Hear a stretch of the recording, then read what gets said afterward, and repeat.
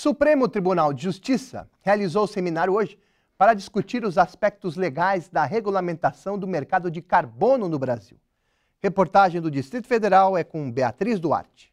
A ministra do Meio Ambiente, Marina Silva, considera que a nova realidade das mudanças climáticas é um alerta para o comprometimento do governo e da sociedade com o meio ambiente. Já estamos sendo cobrados né, por aquilo que não fizemos ao longo de mais de três décadas, desde a Conferência do Rio de Janeiro, conhecida como Eco 92. Se tivéssemos feito o dever de casa, com certeza não teríamos agora o que está acontecendo no mundo, com chuvas torrenciais, ondas de calor, processos de é, resfriamento que são insuportáveis, além de processos de desertificação extremos, como está acontecendo na África agora, levando a que milhares e milhões de pessoas né, possam se perder seus modos de vida. Nós estamos vivendo um período em que há uma nova realidade.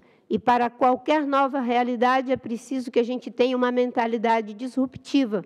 Disruptiva em relação à economia, disruptiva em relação à lei, disruptiva em relação à tecnologia.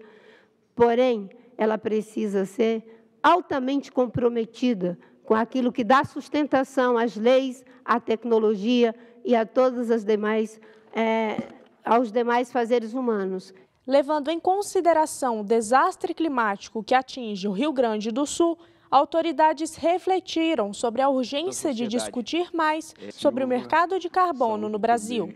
Os mercados de carbono já se têm desenvolvido no mundo de maneira muito acentuada. Nós temos algumas experiências já consolidadas na União Europeia há mais de 20 anos, na Califórnia, temos na Coreia, na China, o, o México também.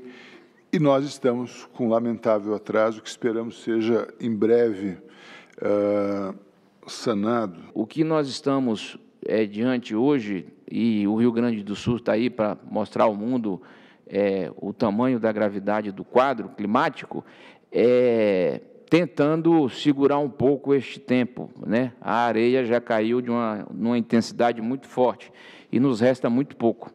Beatriz Duarte, para a Rede Vida de Televisão.